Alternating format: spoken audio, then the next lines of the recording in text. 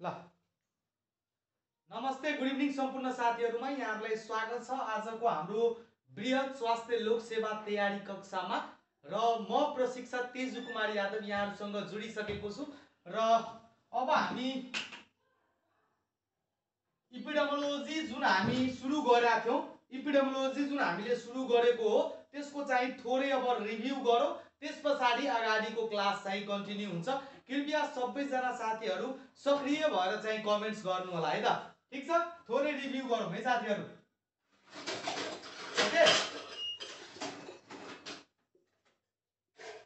थोरै रिभ्यू गरौँ कृपया सबैजना साथीहरूले कमेन्ट्स गर्नु होला है त? ओके ल father of public health comment गर्नुहोस् त सबैजनाले।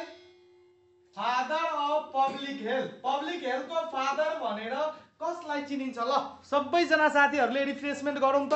रिभ्यू गरौँ है।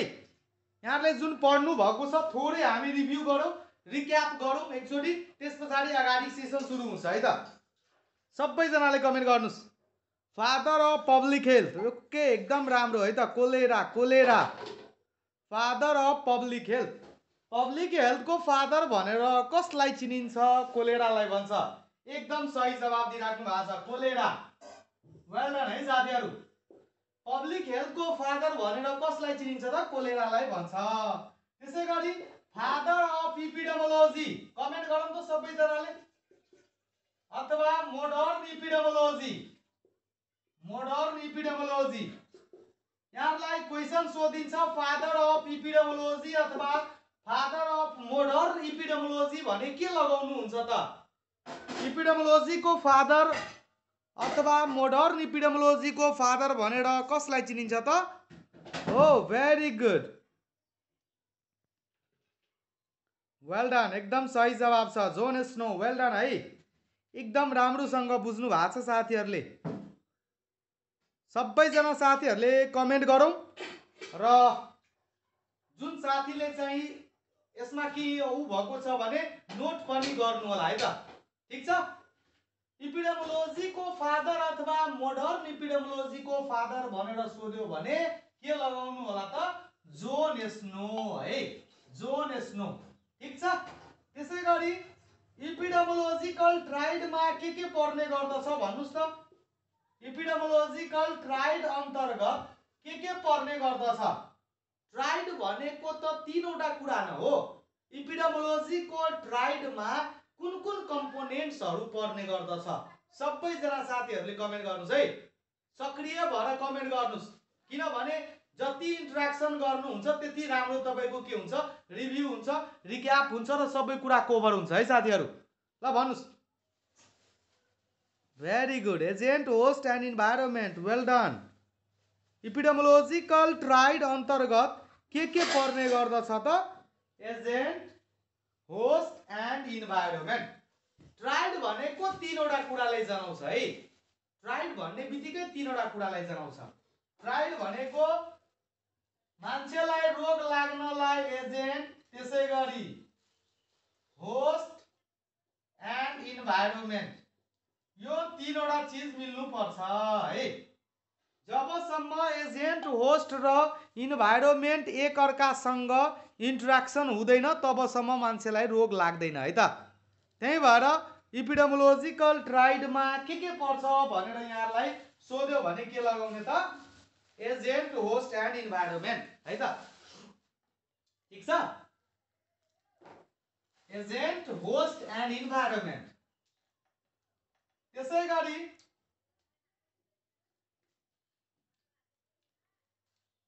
first study of epidemiological studies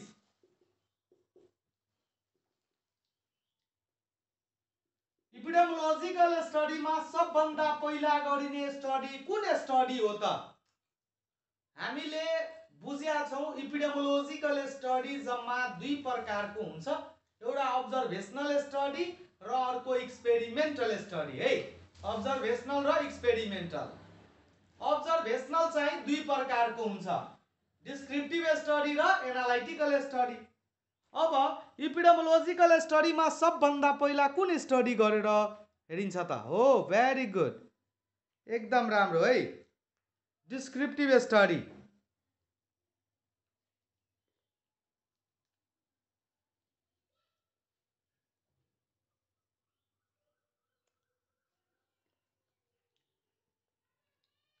एकदम राम्रो है त?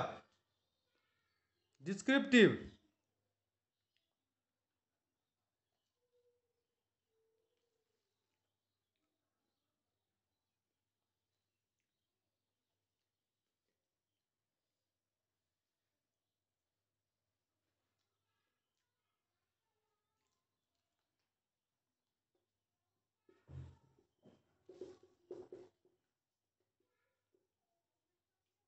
ल इपिडेमोलोजिकल स्टडीमा सबभन्दा पहिला गरिने स्टडी कुन स्टडी हो त? डिस्क्रिप्टिभ स्टडी रहेको छ है? ठिक छ? फर्स्ट स्टडी इपिडेमोलोजिकल स्टडीमा सबभन्दा पहिला गरिने स्टडी भनेको डिस्क्रिप्टिभ स्टडी हो।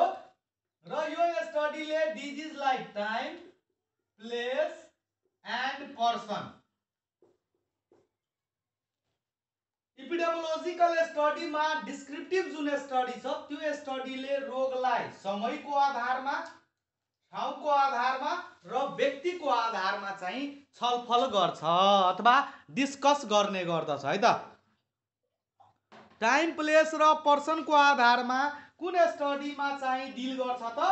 डिस्क्रिप्टिभ स्टडीमा डिल गर्ने गर्दछ है? टाइम प्लेस र पर्सनको आधारमा है त? अर्को छ। द डिजिज सिन इरेगुलरली त्यसै गरी अर्को छ हेपाजाडरली और अनकन्टिन्युसली इज टर्म ड्यास ल भनौँ त। टर्म ड्यास यो के को डेफिनिसन छ? कुनै अप्सन छैन यसमा? ल कमेन्ट गर्नुहोस्। No option. No option. यसको सही जवाब भन्नुहोस्। ल। द डिजिज सिन इरेगुलर अनियमित तरिकाले फाटफुट रूपले कहिले काहीँ होइन? त्यस्तो मात्रामा देखा पर्यो भने डिजिज त्यसलाई हामी के भन्छौँ त? हो स्पोराडिक भन्छ। हो भेरी गुड वेल डन है साथीहरू सबैजना साथीहरूले कृपया कमेन्ट गर्नुहोस् है त। सबैजना साथीहरू सक्रिय भएर क्लास गरौँ है। रिभ्यू गरौँ त्यस पछाडि अब अगाडिको क्लास सुरु गर्छु है त। एभ्री वान सबैजनाले कमेन्ट गर्नुहोस्।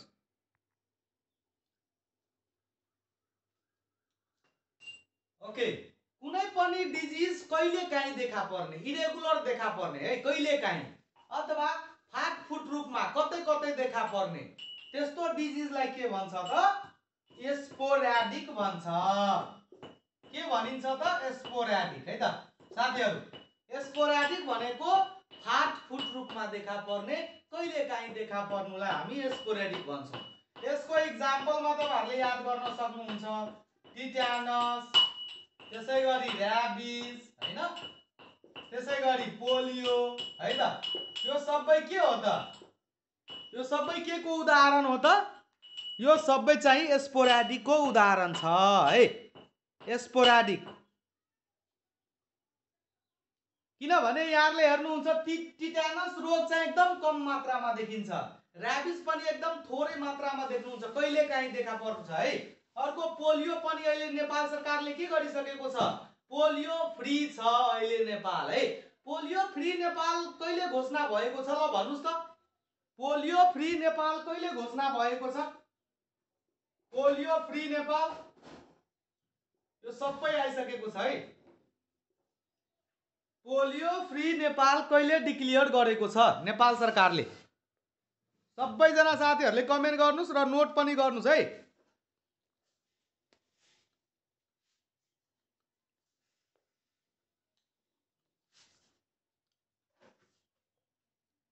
सत्ताइस मार्च दुई हजार चौध हो। भेरी गुड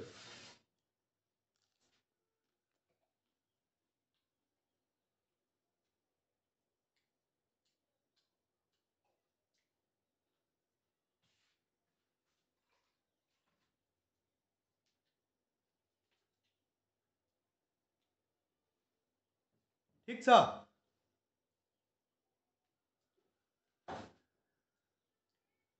सत्ताइस मार्च दुई हजार चौध है ल।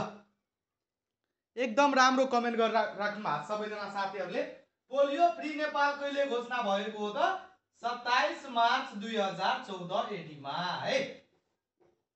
नेपाल पोलियो फ्री घोषणा कहिले गरेको छ भने नेपाल सरकारले पोलियो फ्री सत्ताइस मार्च दुई हजार चौधमा गरेको छ है त?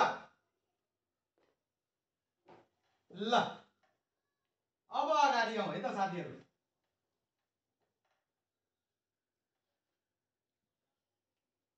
अब हामी पढ्छौँ टर्मिनोलोजीमा डिजिज कन्ट्रोल डिजिज कन्ट्रोल भनेको के हो? डिजिज कन्ट्रोल भनेको रोगको नियन्त्रण है त? नेपालीमा यो बुझ्न सक्नुहुन्छ यहाँहरूले रोगको नियन्त्रण गर्नु होइन? रोगको नियन्त्रण कसरी गर्छ त? तपाईँहरूले कमन सेन्स लगाउनु होला। कन्ट्रोल कहाँ गर्छ त? कुन ठाउँमा कन्ट्रोल गर्छ डिजिजलाई जहाँ रोग लागेको हुन्छ होइन त? जहाँ रोग लागेको हुन्छ त्यो ठाउँमा गएर हामीले डिजिजलाई नियन्त्रण गर्नुपर्छ। बुझ्नुभयो नि? नियन्त्रण त्यो हो।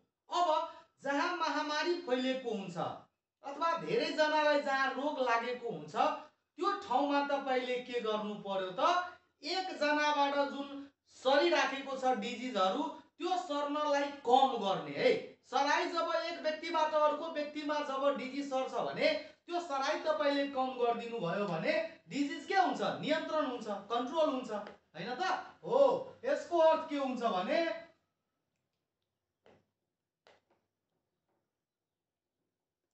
decrease transmission of disease. Transmission of disease. Disease control भनेको रोगको जुन ट्रान्समिसन छ जुन सरिरहेछ एकजनाबाट अर्को जनामा त्यसलाई के गर्ने त? कम गरिदिनुलाई नै के भनिन्छ त? डिजिज कन्ट्रोल भनिन्छ। है डिजिज कन्ट्रोलको अर्थ के हुन्छ त? के गरिदिने त? ट्रान्समिसनलाई के गर्ने? कम गर्ने। ध्यान दिएर सुन्नुहोस् है साथीहरू। एकदम फोकस कुरा हो यो। सिम्पल छ याद गर्नलाई धेरै गाह्रो छैन। कन्ट्रोल भनेको कुन ठाउँमा नियन्त्रण बनाउँछ त? कन्ट्रोल कहाँ गर्नुपर्छ त? जहाँ महामारी फैलिएको हुन्छ। अब महामारी जुन ठाउँमा फैलिएको छ त्यो महामारीलाई सर्न नदिने कम गरिदिने सराय। एक व्यक्तिबाट अर्को व्यक्तिमा सर्न ब्यारियरहरू लगाइदिने। धेरैजनालाई सर्न नदिनुलाई के भन्छ? डिजिज कन्ट्रोल हुन्छ। जस्तै कोभिड फैलिएको बेलामा धेरैजनालाई लाग्न दिएन भने त्यो महामारीको फर्म लिन्छ त समस्या हुन्छ त हुँदै हुँदैन। त्यही भएर चाहिँ यो टर्म तपाईँहरूलाई सोधिन्छ। Decrease transmission of disease is term as disease elimination disease control त्यसै गरी डिजिज इराडिकेसन त्यस्तो गरेर यो टर्महरू सोधिरहेको हुन्छ है साथीहरू। त डिक्रिज ट्रान्समिसन भन्ने बित्तिकै डिजिज कन्ट्रोल है त? अर्को छ अब डिजिज इलिमिनेसन इलिमिनेसन भनेको रोगको निवारण गर्ने। निवारण। उन्मूलन होइन है? निवारण निवारण। डिजिज इलिमिनेसन भनेको के त? रोगको निवारण गर्ने। निवारण भनेको जुन मान्छेहरूमा एउटा समस्याको रूपमा छ नि त्यो बर्डनलाई के गरिदिने त? कम गरिदिने है? त्यो बर्डनलाई चाहिँ धेरै सरुवा रोगको प्रभावहरू हुन नदिने होइन? अब कसरी सरुवा रोग समस्या हुँदैन? जब एक व्यक्तिबाट अर्को व्यक्तिमा टोटल्ली रूपमा सर्दै सर्दैन। जब मबाट सरुवा रोग तपाईँमा सरेन भने महामारीको अवस्था आउँछ त मान्छेको समस्या बन्छ। बन्दै बन्दैन नि। हो। त डिजिज इलिमिनेसन भनेको complete interruption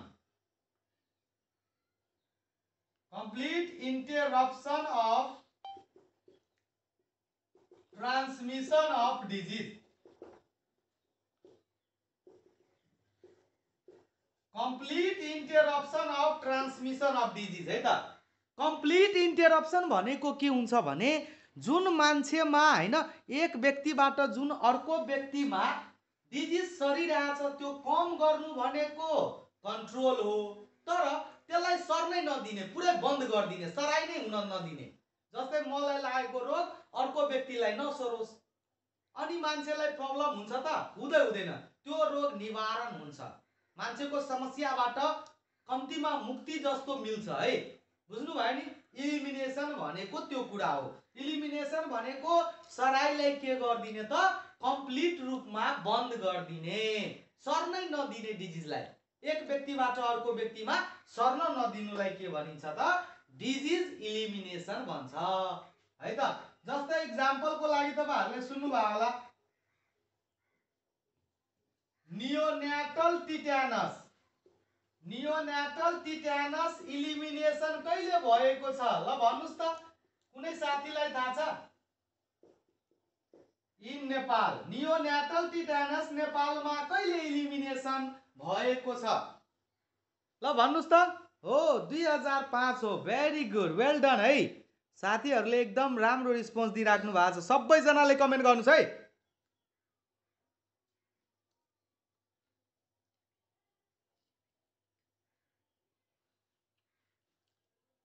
सबैजनाले। वान हो। नियोन्याटल टिट्यानस इलिमिनेसन कहिले भएको त? दुई हजार पाँच एडीमा भएको छ। है? जसलाई हामी यमयनटी पनि भन्छौँ है त? MNT maternal and neonatal tetanus elimination maternal and neonatal tetanus tetanus elimination है? एमएनटी भन्छ यसलाई। Maternal and neonatal tetanus elimination यो कहिले नेपाल सरकारले घोषणा गरिसकेको छ त? दुई हजार पाँच एडीमा गरिसकेको छ। त्यसै गरी लेप्रोसी इलिमिनेसन कहिले गरिसकेको छ भन्नुहोस्? लेप्रोसी इलिमिनेटेड लेप्रोसी कहिले इलिमिनेटेड गरेको छ नेपाल सरकारले? उन्नाइस जनवरी दुई हजार दस एडी है? उन्नाइस जनवरी दुई हजार दस एडीमा नेपाल सरकारले लेप्रोसी इलिमिनेसन घोषणा गरिसकेको छ है त? के गरिसकेको छ त? नेपाल सरकारले लेप्रोसी इलिमिनेसन डिक्लियर कहिले गरेको छ? भने उन्नाइस जनवरी दुई हजार दसमा। यो डेटहरू एकदम महत्त्वपूर्ण छ परीक्षाको लागि। किनभने यो इलिमिनेसन गर्नु भनेको पब्लिक हेल्थमा चाहिँ एउटा उपलब्धि हो एउटा मान्छेको लागि राम्रो कुरा हो भने बुझिन्छ। त्यही भएर यसबाट डेटहरू सोधिरहेको हुन्छ है इक्जाममा। साथीहरू यस्तो डेटहरू आइरहेको हुन्छ है।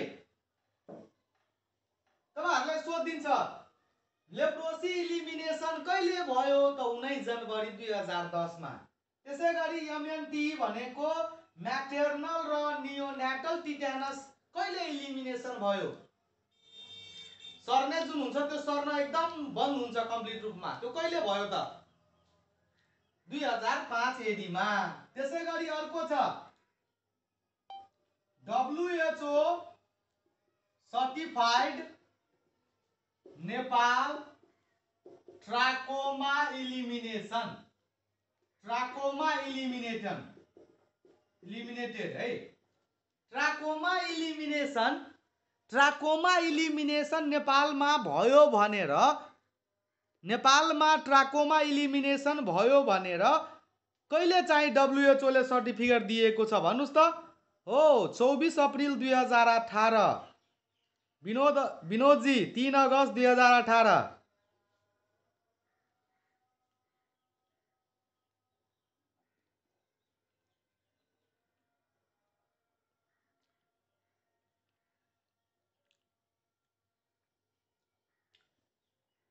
खोइ त अरू साथीहरू कमेन्ट गर्नुहुन्न किन?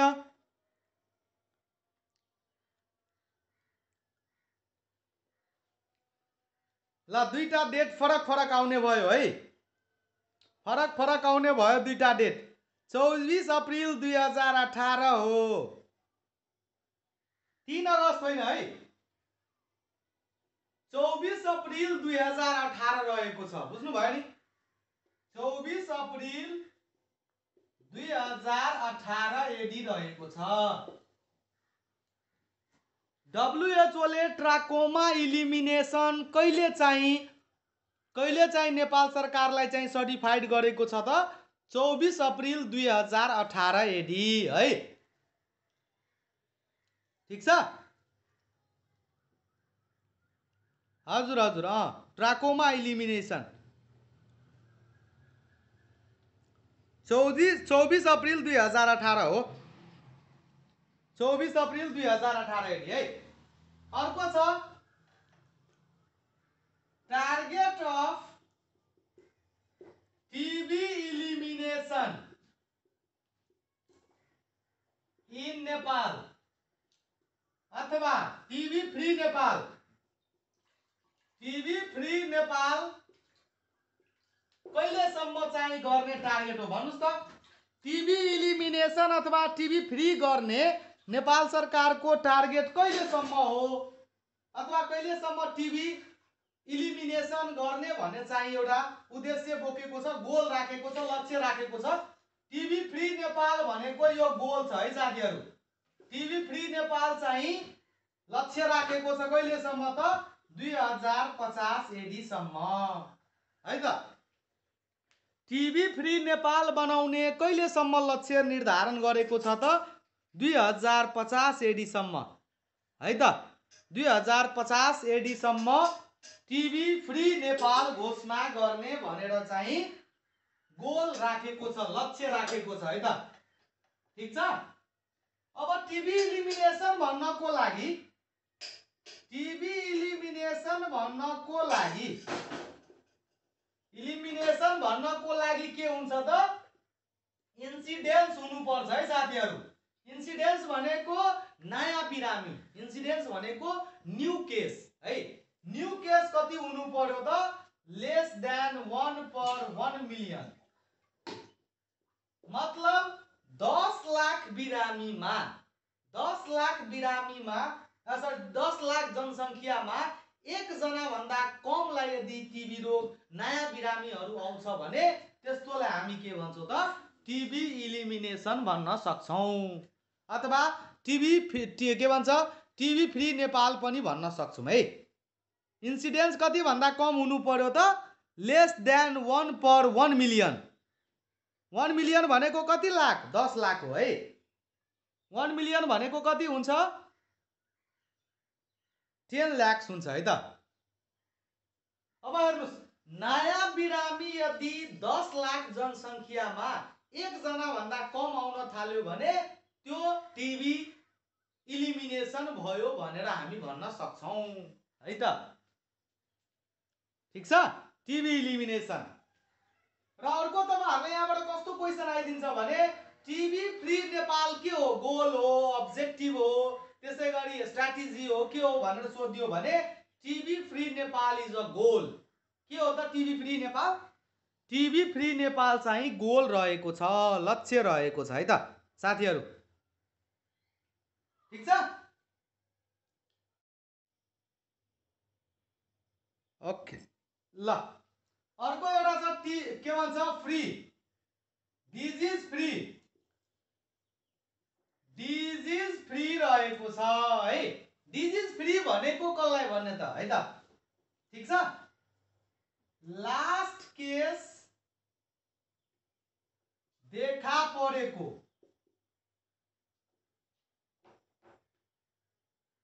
कुनै पनि डिजिजको कुनै पनि डिजिजको लास्ट केस देखा परेको थ्री इयरसम्म थ्री इयरसम्म केस फेला नपर्नु। ल सिम्पली तपाईँहरूले बुझ्दाखेरि के बुझ्नु पर्यो भने फ्री र इलिमिनेसन लगभग लगभग उस्तै कुरा हो है त? किनभने इलिमिनेसन डिक्लियर्ड पनि के हुन्छ त? अथवा फ्री भन्नु भनेको पनि इलिमिनेसन नै हो है साथीहरू तर यो के कुरा हो भने डिजिज फ्री भनेको कुनै पनि डिजिजको लास्ट केस आज देखा पर्यो जस्तै नेपालमा पोलियोको लास्ट केस कहिले देखा परेको छ? दुई हजार दस एडीमा देखा परेको छ पोलियोको लास्ट केस अनि त्यसको तिन वर्षसम्म एउटा पनि नेपालमा पोलियो केस देखा परेन। अनि दुई हजार चौधमा गएर के गर्यो त? नेपाल सरकारले पोलियो फ्री नेपाल घोषणा गर्यो। डब्लुएचओले सर्टिफिकेट दियो है? ठिक छ? हो। मतलब कुनै पनि डिजिजको लास्ट केस देखा परेको कति दिनसम्म यदि केस फेला परेन भने त्यो डिजिजलाई हामी डिजिज फ्री भन्न सक्छौँ त। लास्ट केस देखा परेको थ्री इयरसम्म है त? तिन वर्षसम्म। लास्ट केस देखा परेको तिन वर्षसम्म यदि डिजिजको एउटा पनि केस देखा परेन भने त्यस्तो अवस्थालाई हामी के भन्छौँ त? डिजिज फ्री ठिक छ? ल त कुनै पनि डिजिजको लास्ट केस देखा परेको तिन वर्षसम्म यदि एउटा पनि त्यो डिजिजको केस फेला परेन भने त्यस्तो डिजिजलाई हामी डिजिज फ्री भन्छौँ। जस्तै पोलियोको लास्ट केस कहिले नेपालमा रिपोर्ट भएको हो त? सत्ताइसमा के भन्छ दुई हजार दस एडीमा कुन जिल्लामा त? रौतहट जिल्लामा। कुन बच्चामा त सबिलुल्ला अन्सारी भन्ने बच्चामा? र नेपाल सरकारले डब्लुएचओबाट सर्टिफिकेट लयो लियो पोलियो फ्री नेपालको कहिले त? सत्ताइस मार्च दुई हजार चौधमा। है त?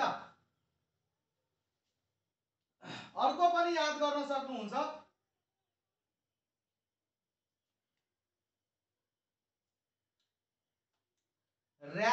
Free country free country declared गर्न। लास्ट केस देखा परेको लास्ट केस देखा परेको कति वर्षसम्म हो? ऱ्याबिज फ्री नेपाल घोषणा गर्नको लागि है कुनै पनि देशलाई ऱ्याबिज फ्री जस्तै हाम्रो देश अहिले ऱ्याबिज फ्री कन्ट्री होइन है त? जस्तै अस्ट्रेलिया भयो साइप्रस भयो होइन अमेरिका भयो अस्ट्रेलिया भयो यिनीहरू भनेको के हो त? ऱ्याबिज फ्री कन्ट्री छ। ऱ्याबिज फ्री कन्ट्री हो तिनीहरू है? अब हाम्रो देश त अहिले ऱ्याबिज फ्री भएको त छैन। ऱ्याबिज फ्री भन्नको लागि कुन क्राइटेरिया हो त? ऱ्याबिज फ्री कन्ट्री डिक्लियर गर्नको लागि लास्ट केस देखा परेको कति वर्षसम्म त? दुई वर्षसम्म। एउटा पनि ऱ्याबिजको केस देखा परेन भने त्यस्तो देशलाई हामी ऱ्याबिज फ्री कन्ट्री भन्छौँ है त? त्यस्तो देशलाई के भन्छ त? ऱ्याबिज फ्री कन्ट्री ठिक छ? सबै डिजिजमा लगभग फ्री भन्नको लागि लास्ट केस देखा परेको तिन वर्ष छ। तर ऱ्याबिजको कन्डिसनमा लास्ट केस देखा परेको दुई वर्षसम्म छ। है साथीहरू यहाँ एक्सेप्सनल कुरा पनि म बताइदिइरहेको छु तपाईँहरूले चाहिँ नोट गर्नु होला है। ठिक छ? किनभने यस्तै एक्सेप्सनल कुराहरू सोधिन्छ। अब लगभग सबैमा तिन वर्ष हुन्छ तर यो ऱ्याबिजको कन्डिसनमा दुई वर्ष मात्रै डब्लुएचओले क्राइटेरिया राखेको छ। यस्तै डिफ्रेन्ट कुराहरू सोधिन्छ अलि। लोकसेवाले अलि फरक फरक किसिमको चाहिँ क्वेसनहरू दिइहाल्छ है।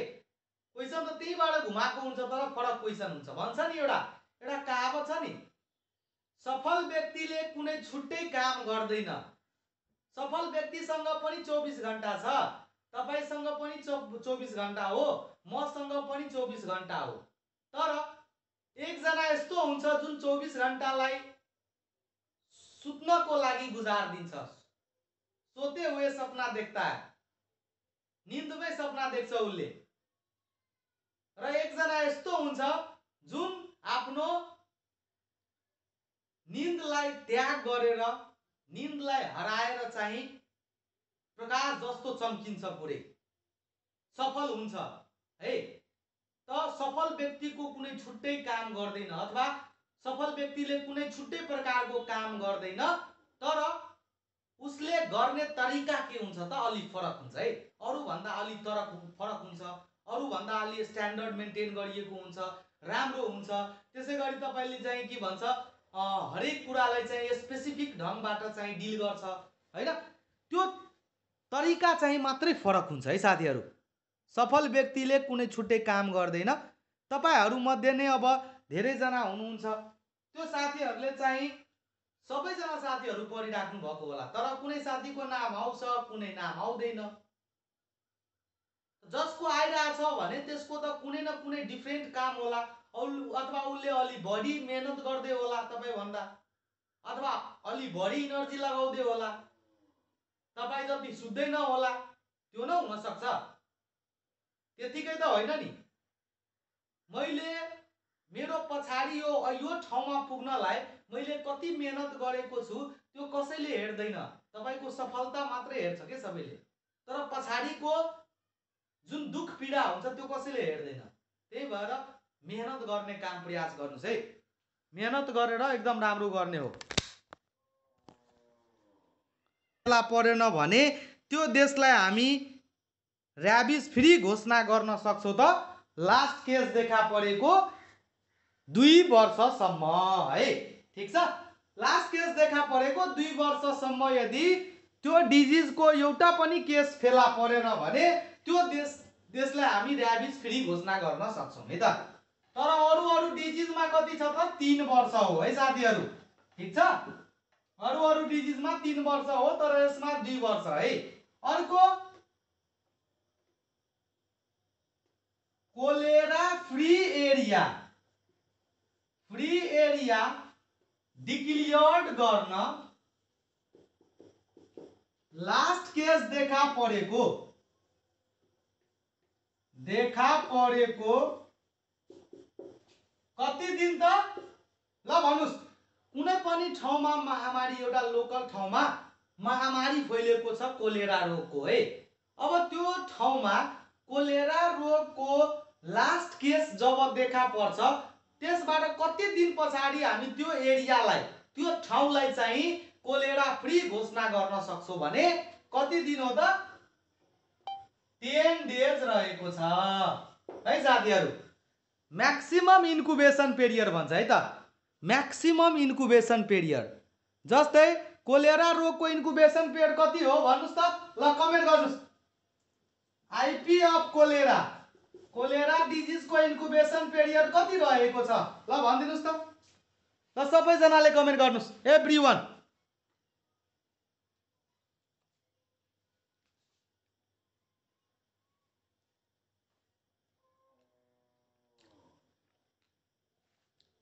दस दिन हो। इन्कुबेसन पिरियड कोलेराको। ल सबैजनाले कमेन्ट गर्नु। सीताजी एक सय दुई एकदेखि दुई दिन।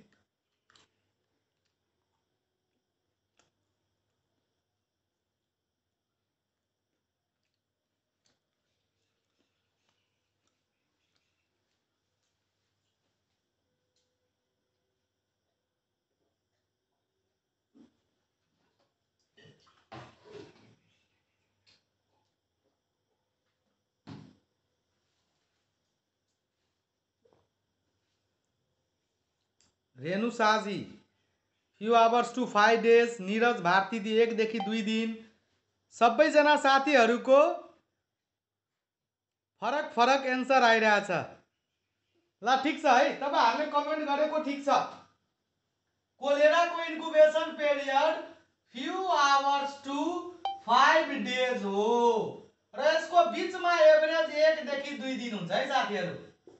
यो बिचको एभरेज भनेको एकदेखि दुई दिन हो तर few hours to five days भन्छ है त? अब यसको म्याक्सिमम इन्कुबेसन पिरियड पाँच भयो होइन? र जहिले पनि कोलेरा फ्री घोषणा गर्नको लागि double of incubation period incubation पिरियडको डबललाई लिन भन्छ त्यही भएर कोलेरा फ्री एरिया घोषणा गर्नको लागि चाहिँ लास्ट केस देखा परेको दस दिन। जस्तै काठमाडौँ महानगरपालिकामा कोलेरा रोग फैलिएको छ। अब त्यो ठाउँमा लास्ट केस जब देखा पर्छ नि लास्ट केस जब देखा पर्छ त्यसको दस दिनसम्म एउटा पनि केस फेला परेन भने त्यसलाई हामी कोलेरा फ्री एरिया घोषणा गरिदिन्छौँ है त? कोलेरा फ्री एरिया घोषणा गरिदिन्छौँ है त? यस्तो क्राइटेरिया रहेको छ। ठिक छ? अब अर्को छ। डिजिज इराडिकेसन डिजिज इराडिकेसन है त? नेपालीमा भन्छ रोगको उन्मूलन। रोगको उन्मूलन है त? डिजिज इराडिकेसन नेपालीमा के भन्छ त? इराडिकेसन सरी उन्मूलन। डिजिज इराडिकेसन भनेको रोगको उन्मूलन गर्ने। उन्मूलन भनेको के त? उन्मूलन भनेको जरैबाट हटाइदिने। जे कारणले रोग लाग्छ नि मान्छेलाई कुनै न कुनै कौजेटिभ एजेन्ट त होला नि। त्यो कारणलाई नै यो संसारबाट कहिले पनि फिर्ता नहुने गरी हटाइदिने। मतलब cut out by route cut out by cut out by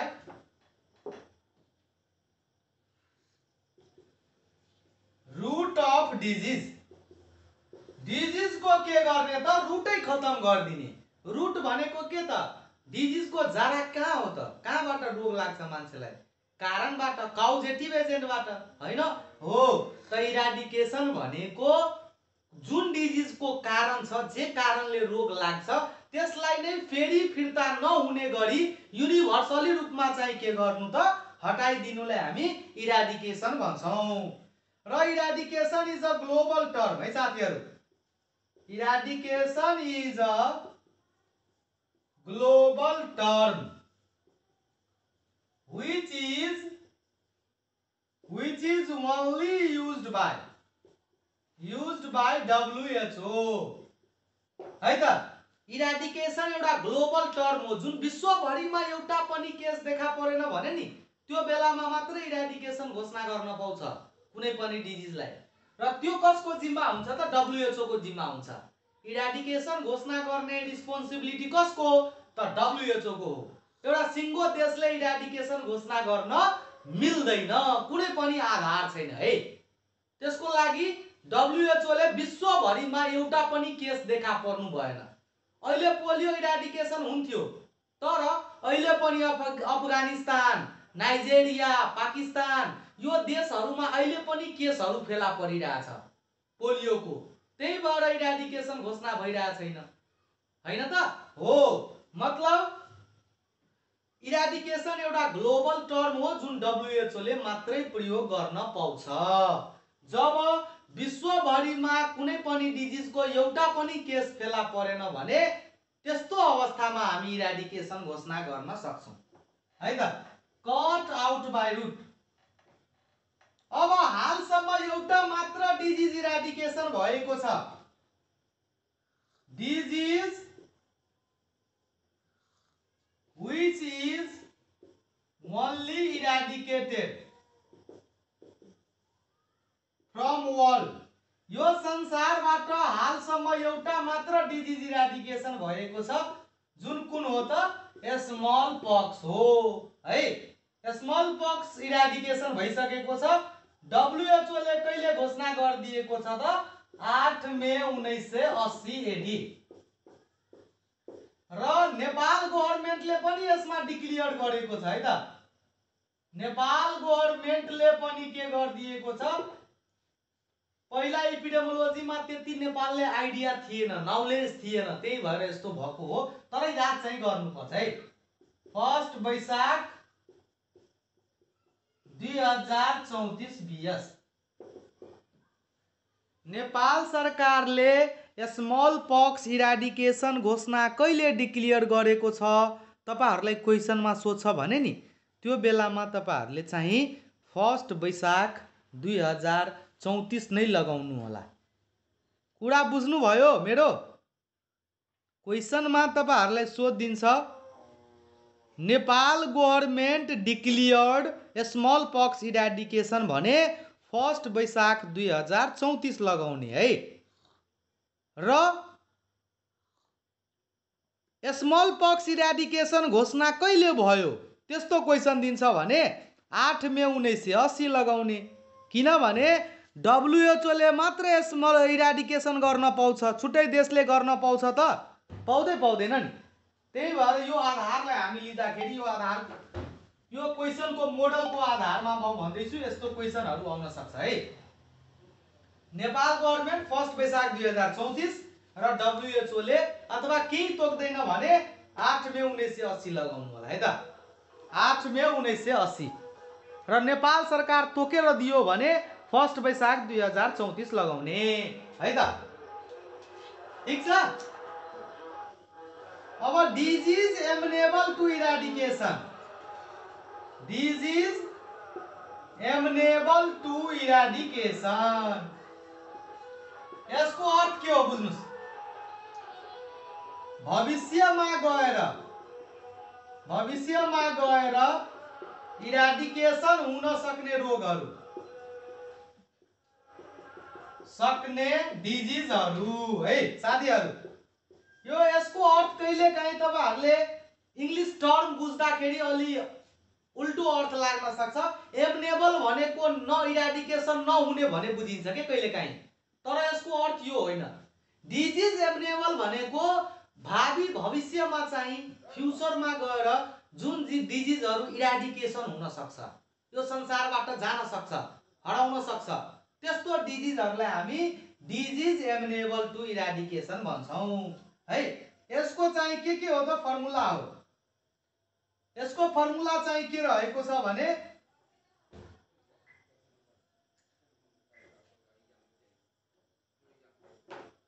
P भनेको पोलियो। है? पोलियो जुन डिजिज छ पोलियो जुन डिजिज हो त्यो पोलियो डिजिज चाहिँ के हुन सक्छ त? भविष्यमा गएर चाहिँ इराडिकेसन हुन सक्छ होइन त? ल यहाँ लेख्ने है फर्मुला एमडिजिपी ल। पहिला मैले फर्मुला यहाँ लेखिदिएँ ल। एमडिजिपी अब लेख्नुहोस्। फर्मुलाकै आधारमा लेखौँ। फर्मुलाको आधारमा अलि सजिलो हुन्छ। एमडिजी एमडिजी भनेको मिलिनियम डेभलपमेन्ट गोल थियो नि। एमडिजी र पी है? अब हेर्नुहोस्। एम भनेको मिजल्स। त्यसै गरी डी भनेको डिप्थेरिया। त्यसै गरी जी भनेको गुनिया वर्म। गुनिया वर्म। गुनिया वर्मकै अर्को नाम चाहिन्छ ड्राङ्कुलियासिस यो नझुकिनु होला है साथीहरू। र पी भनेको हुन्छ पोलियो। ल हेर्नुहोस् कति सजिलो छ हेर्नुहोस्। यो डिजिजहरू भविष्यमा गएर अब इराडिकेसन हुने अवस्थामा छ। बुझ्नुभयो नि? यो डिजिजहरू भावी भविष्यमा गएर इराडिकेसन हुनेवाला छ। जसमा पोलियो पनि छ गुनिया वर्म जसलाई ड्राङ्कुलियासिस भनिन्छ डिप्थेरिया मिजल्स होइन? यो सबै चाहिँ के हो त? इराडिकेसन हुन सक्नेवाला छ भविष्यमा गएर है? ल अब तपाईँहरूले भन्नुहोस् त। पोलियो इराडिकेसन टार्गेट कहिलेसम्म छ भन्नुहोस् त। ल सबैजना साथीहरूले कमेन्ट गर्नुहोस्। पोलियो इराडिकेसन टार्गेट कहिलेसम्म राखेको छ? ल भन्नुहोस्। पोलियो त अब इराडिकेसन हुने फेजमा छ नि। दुई तिनवटा यस्तो देशहरू छ त्यसमा मात्रै यो देखा परिरहेछ बुझ्नुभयो नि? नत्र कुनै देशमा छैन नाइजेरिया अफगानिस्तान पाकिस्तान यो देशहरूमा मात्रै अहिले पोलियो देखा परिरहेछ। नत्र यतातिर अब छैन पोलियो। पोलियो इराडिकेसन घोषणा गर्न सरी कहिलेसम्म इराडिकेसन चाहिँ टार्गेट राखेको छ? हिराजनजी दुई हजार तिस प्रियाजी दुई हजार तिस ओके है। सबैजनाले कमेन्ट गरौँ त समिताजी दुई हजार तिस। पोलियो इराडिकेसन टार्गेट कहिलेसम्म छ? कहिलेसम्म हो त? दुई हजार तिससम्म हो। भगवन्तीजी ठिक छ वेल डन है। एकदम राम्रो। ल साथीहरूले एकदम राम्रो जवाब दिनुभएको छ। दुई हजार तिस एडीसम्म दुई हजार तिस एडीसम्म पोलियो इराडिकेसन टार्गेट कहिलेसम्म हो त? दुई हजार तिस एडीसम्म हो है त। ठिक छ? दुई हजार तिस एडीसम्म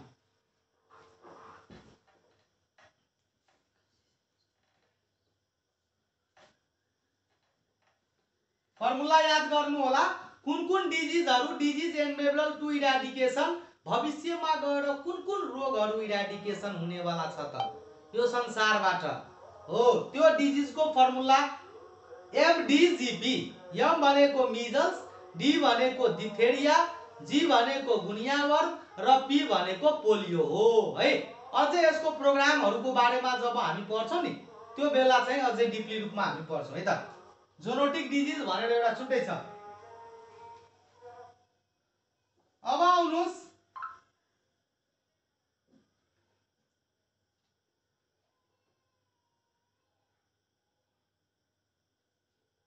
which of the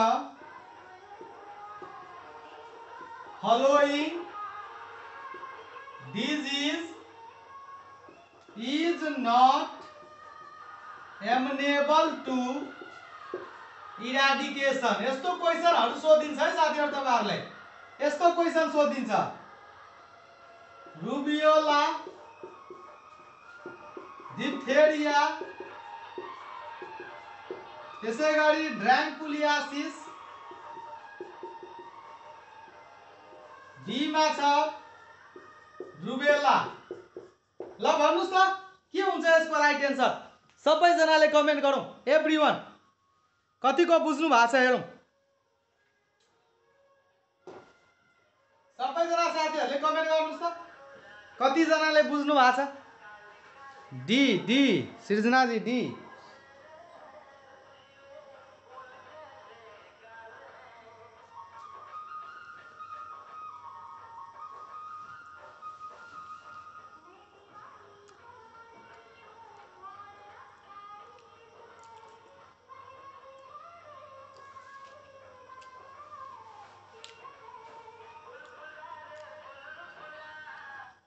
Okay एकदम राम्रो है सीताजी ठिक छ।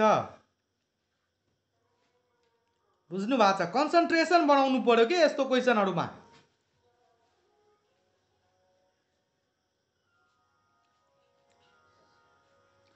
यस्तोमा अलिक के गर्नु पर्यो त? कन्सन्ट्रेसन बनाउनु पर्यो। बुझ्नुभयो नि?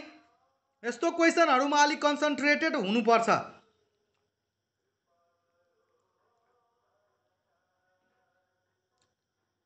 किनभने यो रुबियोलामा अब इक्जामको प्रेसर यस्तो हुन्छ नि इक्जाम दिने बेलामा तपाईँको प्रेसर क्रिएट हुन्छ बुझ्नुभयो नि? अब प्रेसरको कारणले यस्तो कुराहरूमा पनि कन्फ्युजन बढ्छ त्यहाँ। त्यो प्रेसर हुन्छ तपाईँले त्यहाँ।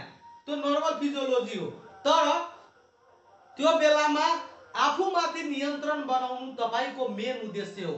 हौसला बुलन्द हुन्छ भने नि जे सुकै पनि मान्छे गर्न सक्छ। है त्यही भएर चाहिँ हौसला बुलन्द राख्नुहोस्। आफूमाथि विश्वास गर्नुहोस् सेल्फ कन्फिडेन्स राख्नुहोस्। अब इक्जाम हलमा जानुहुन्छ आफै केही न केही भएको जस्तो एकदम डरले होइन? लगाउनु पर्छ ए त ठिक लाग्छ बिमा त्यस्तो फल्टहरू गर्नुहुन्छ। त्यो एकचोटि दियो भने त्यस्तो डर भयो ल। दोस्रोचोटि तेस्रोचोटि तिन तिनचोटि चार चारचोटि इक्जाम दिनुहुन्छ तब पनि तपाईँ बिगार्नुहुन्छ। कारण के त? मतलब आफूमाथि तपाईँलाई शङ्का लागिरहेछ कि मलाई राम्रो तयारी छैन। लोकसेवामा त जति पढे पनि नि थोरै हुन्छ बुझ्नुभयो नि? कोही विज्ञ छैन लोकसेवाको बुझ्नुभयो नो? वान यो संसारमा कोही छैन। बुझ्नुभयो नि? भन्छ नि river of life river of life कसलाई भन्छ? ब्लडलाई भन्छ? होइन? रिभर अफ लाइफ कसलाई भन्छ? जीवनको सागर रिभर अफ लाइफ भनेर कसलाई चिनिन्छ त? साथीहरू? रिभर अफ लाइफ जीवनको सागर भनेर कसलाई चिनिन्छ त? ब्लडलाई भन्छ। रिभर अफ लाइफ है साथीहरू? रिभर अफ लाइफ हाम्रो रगत भनेको नदी हो र त्यो नदीमा जीवन छ। त्यही पा त्यो यदि ब्लड राम्रोसँग सर्कुलेट भएन भने मान्छे बाँच्छ त? बाँच्दैन नि। हो रिभर अफ लाइफ भनेको के हो त? ब्लड हो त्यसरी नै चाहिँ त्यसरी नै तपाईँहरूले चाहिँ river of education river of education अथवा ocean of education ocean of education भनेको लोक सेवालाई भन्छ। है लोक सेवालाई। शिक्षाको सागर शिक्षाको सागर भनेको के त? लोक सेवा हो। तपाईँ जति पनि पढिहाल्नुहुन्छ नि तपाईँलाई लाग्छ है मलाई तयारी त्यति राम्रो छैन। तपाईँले आफूमाथि डाउट लाग्छ। बुझ्नुभयो नि? त्यो त्यस्तो फिलिङ्स हुन्छ। मलाई पनि भएको थियो तपाईँले पनि हुन्छ। तर त्यो बेलामा आफूलाई एउटा मेन्टली प्रिपेयर गरेको जुन विद्यार्थी छ जुन जसले क्लासको प्रेसर चाहिँ ह्यान्डल गर्न सक्यो त्यो क्लासमा उसले प्रेसर ह्यान्डल गर्न सक्यो र आफूलाई नियन्त्रित बनाउन सक्यो भने त्यसले त्यो पैँतालिस मिनटमा आफ्नो क्यारियर बनाइहाल्छ। तर जसले त्यहाँ चाहिँ आफूलाई संयन्त्री बनाउन सकेन आफूलाई धैर्य राख्न सकेन भने त्यहाँ चाहिँ के हुन्छ त? फल्ट गरेर आउँछ विद्यार्थीहरू। र फल्ट गरेर आयो भने के हुन्छ त? जुन नाम निस्किने सम्भावना जुन सामान्य कुराहरू छ त्यो सामान्य कुराहरू मबाट नबिग्रोस्। म क्लासको प्रेसर जुन हुन्छ त्यो प्रेसर चाहिँ ह्यान्डल गर्न सक्छु। त्यो आत्मविश्वास भित्रबाट डेभलप गर्नुहोस्। अनि हेर्नु सफलता मिल्छ पक्कै पनि मिल्छ है। रिभर अफ लाइफ भनेको ब्लड हो र ओसियन अथवा रिभर अफ एजुकेसन भनेको लोक सेवालाई भन्छ। शिक्षाको सागर। तपाईँ जति पढ्नुहुन्छ नि थोरै लाग्छ कि तपाईँले? यो पढौँ त्यो पढौँ। तर जसले आफूलाई धैर्य बनाएर स्थिर भएर बिस्तारै बिस्तारै लेभल लेभल लेभल वाइज बढ्दै जान्छ भने नि त्यो धेरै अगाडिसम्म जान सक्छ। त्यही भएर चाहिँ धैर्यता राख्नुहोस् आफूमाथि विश्वास राख्नुहोस् र लगातार मेहनत गर्दै जानुहोस् बुझ्नुभयो नि? भन्छ नि बारिश की बूंदे भली छोटी हो लेकिन उसका लगातार बरसना बड़ी बड़ी नदियों का बहाव बन जाता है। वैसे ही हमारी जिंदगी में छोटा छोटा प्रयास ही सही। वही बड़ी कामयाबी लाने में सक्षम होता है। इसलिए प्रयास छोटा ही सही लेकिन लगातार होना चाहिए। तपाईँको सानो प्रयास भए तापनि त्यो निरन्तर हुनु पर्यो कन्टिन्युटी हुनु पर्यो है साथीहरू। अनि त्यसले परिवर्तन ल्याउँछ तपाईँको जीवनमा। तपाईँले केही न केही बनाएर छाड्छ त्यसले? त्यही भएर त्यो मेहनतमा विश्वास गर्नुहोस् है। बुझ्नुभयो नि? ल त्यसको राइट एन्सर के हुन्छ त? डी हुन्छ। साथीहरूले कमेन्ट गरे जस्तै यसको डी के हुन्छ? राइट एन्सर रुबेला भनेको जर्मन मिजल्सलाई भन्छ है त। जर्मन मिजल्सलाई रुबेला भनिन्छ। र रुबियोला भनेको मिजल्स हो है। त मिजल्स त इराडिकेसन हुनेवाला त छ होइन त? यो त इराडिकेसन हुने अवस्थ अवस्थामा छ। तर यो जर्मन मिजल्स इराडिकेसन हुनेवाला छैन है।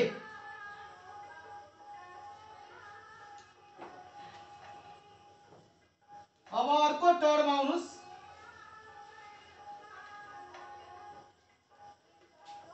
एउटा छ spectrum of health and disease health र डिजिजको स्पेक्ट्रम है साथीहरू ध्यान दिएर सुन्नु होला इम्पोर्टेन्ट छ यो। Spectrum of health and disease डिजिजलाई र नर्मल स्वास्थ्यलाई एउटा बर्नपटमा के गरेको छ त? इपिडेमोलोजीले दर्शाएको छ देखाएको छ कि मानिसको स्वास्थ्य कुन स्तरसम्म हुन्छ? त्यहाँबाट कहाँ आउँछ? फेरि कहाँ आउँछ? कसरी मानिस रोगी बन्छ होइन? त्यसलाई एउटा बर्नपटमा चाहिँ के गरेको छ त? देखाइएको छ। एउटा स्पेक्ट्रममा देखाइएको छ है साथीहरू। अब हेल्थ र डिजिज स्पेक्ट्रममा जम्मा कतिवटा कम्पोनेन्ट हुने गर्दछ त? How many components are there in spectrum of health and disease ल भन्नुहोस् त। कतिवटा हो साथीहरू? हो सातवटा। हेल्थ र डिजिजको स्पेक्ट्रम है।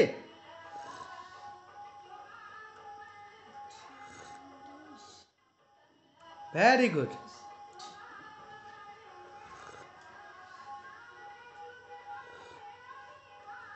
वेल डन सातवटा एकदम सही जवाब।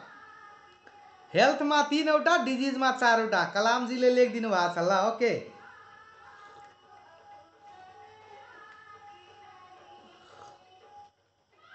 जम्मा कतिवटा त सातवटा। ज्योतिजी ठिक छ है?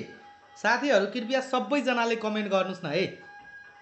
यसरी बसेर होइन नोट नगरिकन केयरलेस तरिकाले कृपया साथीहरूसँग विशेष अनुरोध छ। त्यसरी नपढिदिनुहोस्। इनर्जी लगाएर मेहनत गरेर पढ्नुहोस् है? ठिक छ?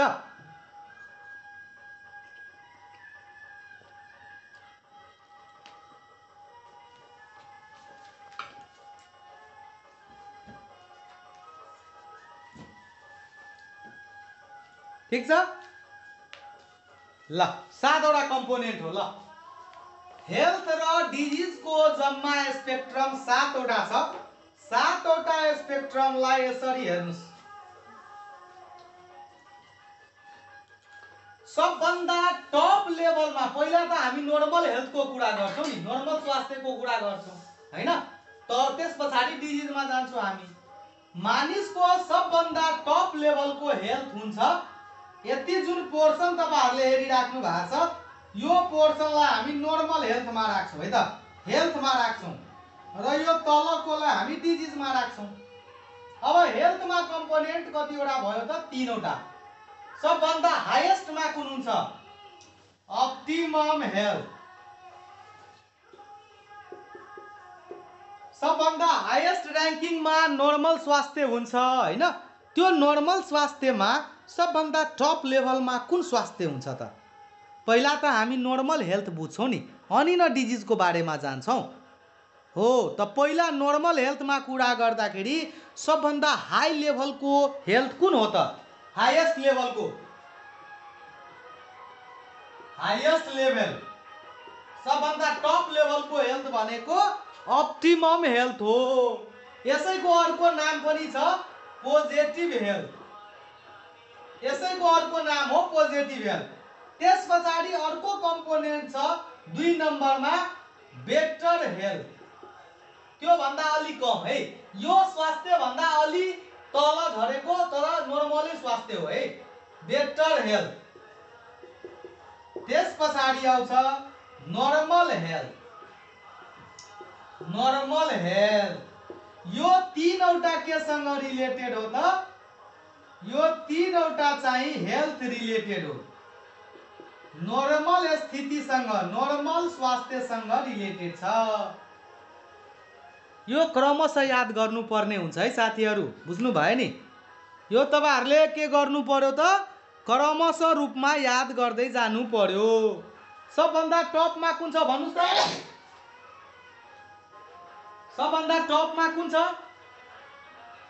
टप लेभलको हेल्थ कुन हो? अप्टिमम हेल्थ हो। अप्टिमम हेल्थ भनेको यस्तो स्वास्थ्य जसमा रोग लाग्ने कुनै सम्भावना नै हुँदैन। रोग लाग्ने कुनै सम्भावना हुँदैन। पोजिटिभ हेल्थ भन्छ यसलाई। ठिक छ? जसमा कुनै नर्मल के भन्छ डिजिज लाग्ने कुनै सम्भावना नै हुँदैन मानिसलाई। ठिक छ? अप्टिमम हेल्थ यो हेल्थ मान्छेले नर्मली रूपमा गर्न सक्दैन। माथि गइसके पछाडि मात्रै हुन्छ है? यस्तो प्रकारको हेल्थ चाहिँ आर्जन गर्न धेरै गाह्रो छ। धेरै क्राइटेरियाहरू छ जुन हामी गर्न सक्दैनौँ। त्यस्तो क्राइटेरियाहरू छ।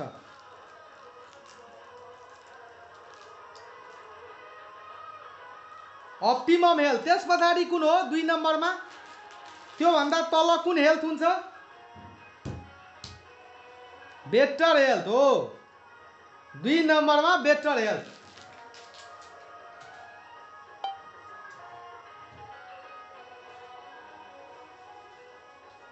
हो त्योभन्दा तल के हो त हेल्थको सबभन्दा लास्टमा के हुन्छ त?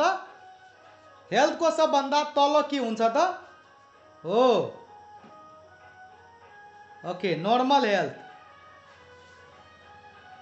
normal health हो है? साथीहरू। अब यो तिनवटा केसँग रिलेटेड हुने भयो त? हेल्थसँग रिलेटेड छ। यसमा मान्छेलाई रोग लागेको छैन है यो तिनवटामा। मनिषा नाथजी ठिक छ? यो तिनवटामा मानिसलाई रोग लागेको छैन यति याद गर्नुहोस् है। ठिक छ? अब हेर्नुहोस्। यो जुन यहाँहरूले हेर्नुहुन्छ नि यसलाई भन्छ डिजिज रिलेटेड यो तिनवटा रोगसँग रिलेटेड हो। अब हेर्नुहोस् त मानिसलाई यहाँसम्म रोग लागेको छैन। यहाँसम्म रोग लागेको छैन मानिसलाई। हेल्दी हो।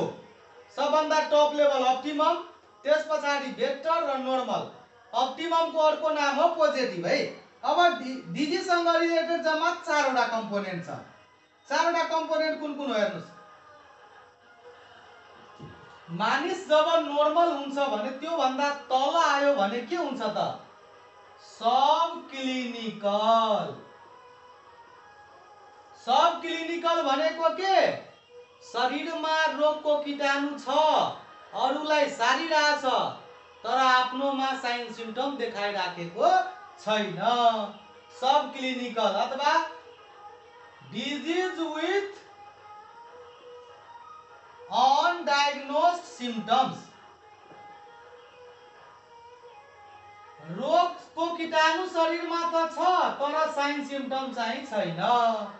त्यसलाई हामी भन्छौँ सब क्लिनिकल अब मानिस त सब क्लिनिकल थियो भने पछि केमा चेन्ज हुन्छ त्यो मान्छे? क्लिनिकल हुन्छ साइन सिम्टम है? अब के हुन्छ त? क्लिनिकल क्लिनिकल केस क्लिनिकल भनेको disease with diagnosed diagnose symptoms अब मानिसलाई रोगको साइन सिम्टम आइसक्यो ल। डिजिज लागिसक्यो अब। अब डिजिज लाग्यो भने डिजिज के हुन्छ? सिभियर हुन्छ। सिभियर स्टेज र रोग सिभियर भएर मानिसको के हुन्छ? मृत्यु हुन्छ डेथ हुन्छ। यो चारवटा कम्पोनेन्ट भयो है त। यो चारवटा कम्पोनेन्ट डिजिजसँग रिलेटेड छ। यो तिनवटा कम्पोनेन्ट चाहिँ हेल्थसँग रिलेटेड हो। है त? ल हेर्नुहोस्। एक नम्बर दुई नम्बर तिन नम्बर चाहिँ हेल्थसँग रिलेटेड हो। यसमा मानिसलाई रोग लागेको छैन है? यसमा मानिसलाई के लागेको छैन? रोग लागेको छैन। अब तल आयो डिजिज अवस्थामा। त डिजिज अवस्थामा के हुन्छ? Subclinical infection causative agent त छ तर साइन सिम्टम छैन। त्यसपछि डिजिज सिम्टम साइन सिम्टम आउँछ डिजिजको त्यस पछाडि डिजिज चाहिँ सिभियर हुन्छ र मान्छेको अन्तिममा के हुन्छ? डेथ हुन्छ। जम्मा सातवटा कम्पोनेन्ट भयो। जसमा तिनवटा health related three health related र फोर डिजिज रिलेटेड क्रमशः याद गर्नु होला optimum health better health normal health subclinical clinical severe र डेथ यसरी क्रमशः याद गर्नुपर्छ है तपाईँहरूले। क्रमशः याद हुनैपर्छ साथीहरू बुझ्नुभयो नि? सबभन्दा हाइएस्टमा कुन हुन्छ? त अप्टिमम अथवा पोजिटिभ सबभन्दा लोएस्टमा के हुन्छ? डेथ हुन्छ। सबभन्दा लोएस्ट पोर्सनमा के हुन्छ? डेथ हुन्छ है। यस्तै क्वेसनहरू सोचेँ यहाँबाट। अथवा सबभन्दा हाइएस्टमा कुन हो त अप्टिमम हेल्थ अथवा पोजिटिभ हेल्थ। सेकेन्ड नम्बरमा कुन हो त बेटर हेल्थ। यस्तो क्वेसनहरू सोधिन्छ बुझ्नुभयो नि? इक्जाममा तपाईँहरूले यस्तै क्वेसनहरू सोचे यहाँबाट। इम्पोर्टेन्ट छ धेरै है साथीहरू? सबभन्दा हाइएस्टमा भयो के त? सबभन्दा हाइएस्टमा अप्टिमम हेल्थ। अप्टिममकै अर्को नाम हो पोजिटिभ हेल्थ। त्यस पछाडि बेटर हेल्थ। अर्को छ normal health subclinical infection clinical severe र लास्टमा डेथ हो है? ठिक छ ओके ल।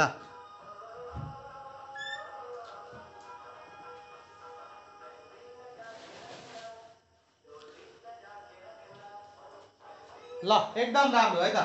ल है साथीहरू अब तपाईँहरूको अब नेक्स्ट क्लास हुन्छ।